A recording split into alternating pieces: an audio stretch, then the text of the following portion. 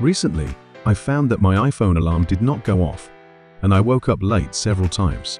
It can be super annoying when it doesn't work, and I find that a bunch of iPhone users have been facing the same problem after updating to iOS 17. Looks like it's a common issue, and after a few tries, I finally fixed this alarm bug. Now you can join me to check why the alarm clock is not working and try the following methods to fix this. Let's get started.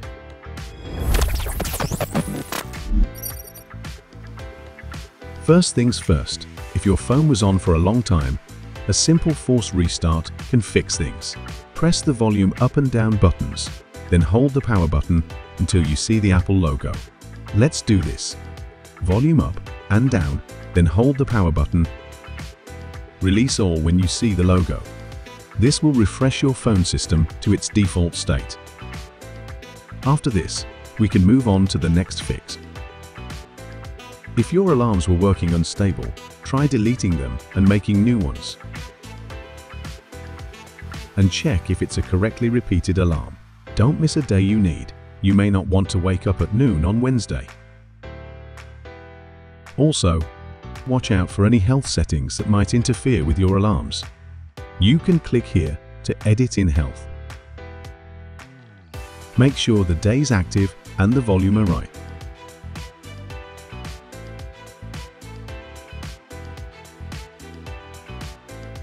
And swipe down the control center here. Make sure you turn off the focus mode like sleep, work, personal, or other type of mode you set. Next is to check your volume. Sometimes, the volume might be too low to wake you up. Check that your phone's volume isn't muted. Use this button to turn off silent or your alarms won't work. You can also open the Settings app and go to Sounds and Haptics to make sure the ringer and alert volumes aren't muted or set too low. If the silent mode is turned on, make sure to turn it off. Let's move on to the next method. Since this may be an iOS system issue, you can also check if there's a new iOS update. If there is, update it. Sometimes Apple fixes these kinds of problems with updates. If the update is stuck and running slow, or all these methods did not fix the alarm problems, you can use ReiBoot to fix your alarm bug or upgrade your phone. You can safely repair a lot of issues of your iOS device using ReiBoot. It have lots of feature like system repair, upgrade, downgrade, and even enter or exit recovery mode in one click.